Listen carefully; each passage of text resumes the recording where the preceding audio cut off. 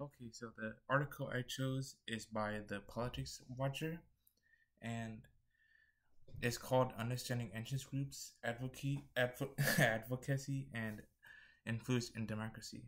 So how it starts is it says the interest groups play a vital role in shaping public policy and influencing decision making decision making processes in democratic societies and it is and it is often referred to as advocacy groups. These organizations are often formed by individuals with shared interests, beliefs, or goals.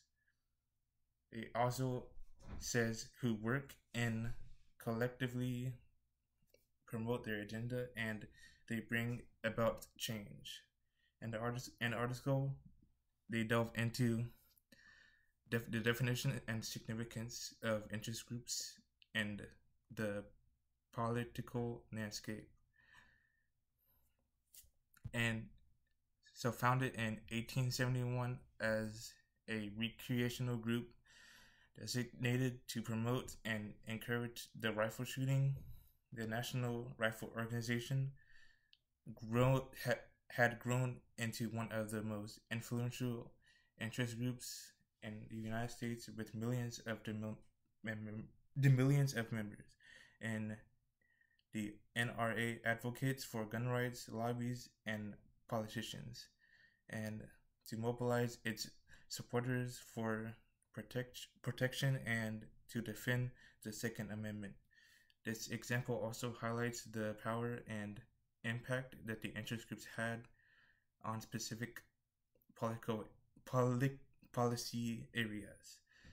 The interest, the interest groups span a wide range of issues that go across environmental convers- conversation, cons- conservation, and civ- civil rights to healthcare and education.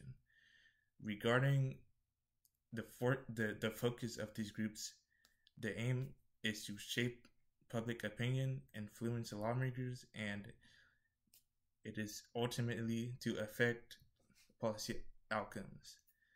They also achieve this through various means, which include lobbying, public campaigns, grassroots mobilization, and strategic alliances. By organizing and amplifying their collective voice, the interest groups can exert significant pressure on policymakers and ensure that their concerns are heard. However, the influence of interest groups had been a subject of debate, which critics argue that wealthy special interests hold disproportionate power over policymakers, dis- distorting the de- democratic representation and favoring their own agendas. This concern raises questions about the balances between the interest groups of general public and the influence of well-funded advocacy groups. It becomes crucial for policymakers to con- consider diverse perspectives and a fair, transparent decision-making process. So, on the other hand, the interest groups provide an avenue for citizens to participate in the democratic process and have their voices heard. They, off, they offer a platform for individuals to join, pool resources, and advocate for change, and as well as interest groups empowering citizens to engage in political discourse.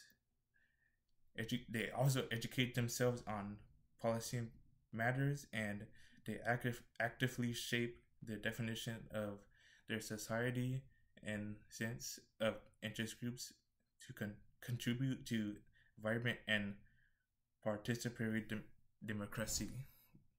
Dem- democracy.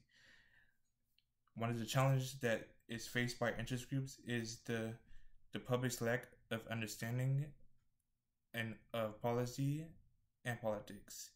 The civic knowledge, the civic knowledge is essential for informed decision making and as well as the uh, well informed citizen citizenry is crucial for healthy democracy.